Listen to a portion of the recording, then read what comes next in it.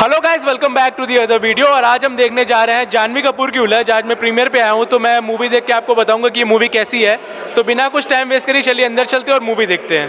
Movie was nice और बहुत सारी चीज़ें सीखने वाली हैं और सिखाने वाली भी हैं। तो it was a nice Janhvi Kapoor की एक्टिंग आपको कैसे लगी ब्रिलियंट आज तक मैंने उनको जितने भी मूवीज़ में देखा है इस लेवल पे नहीं देखा बट टुडे वॉज़ ब्रिलियंट तो कह सकते हैं कि जेम्स बॉन्ड के लेवल की मूवी कोई बनी इंडिया में? कह सकते हैं। तो पाँच में से कितने स्टार दोगे आप? I give four. Four four या उलझ देख के आया हूँ मैं बढ़िया मूवी थी। तो काम कैसा लगा जानवी कपूर का? इम्प्रूवमेंट हुआ उनके पहले की मूवी से कई इम्प्रूवमेंट उन्होंने किया है। बेस्ट नहीं कह सकते अभी तक आई इस साल की ढंग की स्पाई मूवी है। अच्छा तो पाँच में से कितने स्टार दोगे आप? थ्री पॉइंट फाइव भाई उलझ देख कर आया हूँ और लिटरली उलझ गया हूँ मैं। मुझे समझ में नहीं आ रहा मैं क्या बोलूँ। मतलब फ़िल्म अच्छी भी लगी बुरी भी लगी कहीं कहीं पे समझ में भी नहीं आई लेकिन कहीं कहीं पे समझ में भी आई। मतलब ठीक है सो सो है। सबसे बेस्ट काम किसका लगा भाई गुलशन देवैया हाय हाय क्या लगा यार बंदा। गुलशन देवैया एक बहुत अच्छा विलन बन सकता है। आजकल के जनरेशन का अमरीश पुरी। तो काम बड़ा सही करा यार गुलशन देवैया ने। मतलब कह सकते हैं कि जानवी कपूर इस फ़िल्म से मतलब वापसी कर पाएँगे अपनी जो अपनी अपने टाइम से। देखिए जानवी कपूर की एक्टिंग का तो मैं 100 परसेंट गारंटी नहीं ले सकता कि उन्होंने अच्छा किया है। लेकिन मैं इतना कह सकता हूँ कि जानवी कपूर लगी बढ़िया है यार। मतलब बड़े बड़े पर्दे पर उन्हें जिस तरीके से इंस्टाग्राम पे आज तक हम देख रहे हैं लेकिन बड़े पर्दे पर जो उन्हें देखा है ना मैंने यार मज़ा ही आ गया। और स्वाद आ गया मतलब श्रीदेवी जी की याद आ गई, वाकई में उनकी ब्यूटीफुलनेस देखकर। एक्टिंग में अभी हालाँकि उन्हें थोड़ा काम करना है, मगर ब्यूटीफुल वो बहुत लगी हैं, और इधर गुलशन देवैया की एक्टिंग बहुत बढ़िया लगी है। सो मुझे लगता है यहाँ पर डायरेक्टर ने एक बैलेंस बना दिया कि भैया ब्यूटीफुल देखना है, खूबसूरती देखनी तो जानवी को देखो एक्टिंग देखनी है तो गुलशन देवैया को और बाकी एक्टर्स को देखो। सो ओवरऑल झेल सकते हो आप जानवी के एक्सप्रेशन तो पाँच में से कितने स्टार्स हो गए this movie deserve three point five by movie अच्छी थी काफ़ी अच्छी मूवी थी. जानवी कपूर बहुत टाइम बाद में जो है वो जानवी कपूर की मुझे एक्टिंग अच्छी लगी.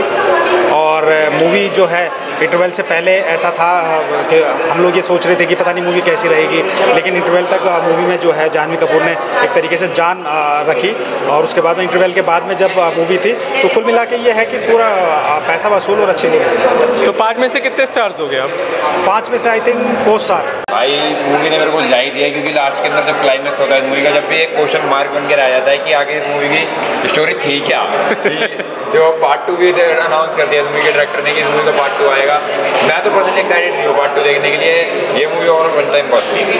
अच्छा तो मतलब सबसे बेस्ट काम किसका लगा आपको? गुलशन ने भैया का। जिस तरीके से उन्होंने एक अपना विलन का किरदार निभाया इस मूवी के अंदर वो काफ़ी ज़्यादा बढ़िया देखने को मिल रहा था। रोशन मैथ्यूज का भी काफ़ी ज़्यादा अच्छा काम था। जानवी कपूर ओके हो गई थी जैसी उनकी पिछली मूवी वैसे इसके अंदर काम था। तो पाँच में से कितने स्टार्स हो गए? थ्री पॉइंट फाइव स्टार सिर्फ़ और सिर्फ़ गुलशन देवैया के गाइस अभी मैं देख के आ रहा हूँ लज मुझे इस मूवी के बारे में ये कहना है कि इस मूवी का फ़र्स्ट हाफ़ बहुत ही ज़्यादा अच्छा था। मतलब कह सकते हैं कि one of the best first half spy universe का बॉलीवुड की मैं बात कर रहा हूँ हॉलीवुड की बात नहीं कर रहा। मतलब स्पाई यूनिवर्स की 2024 की बेस्ट मूवी मैं कह सकता हूँ कि ये थी।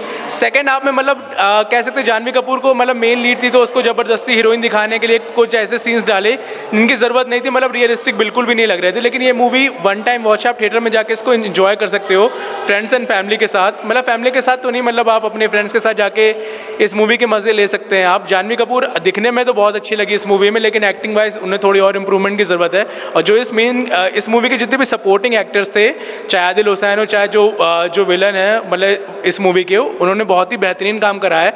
और ऐसे टैलेंट को हमें आगे बढ़ के मतलब सपोर्ट करना चाहिए ताकि उनकी मूवी लोग देखें और उनको मतलब काम मिले ताकि बॉलीवुड जो डाउनफॉल की तरफ़ जा रहा है, उसको थोड़ा मतलब कहते ना कि एक इंक्रीमेंट मिले बॉलीवुड को। तो I hope you guys like this video जितने भी लोगों ने रिव्यूज़ दिए आपको अच्छे लगे हों। So please subscribe the channel and share with your friends मिलते हैं नेक्स्ट वीडियो में। Have a great day bye bye and जय हिंद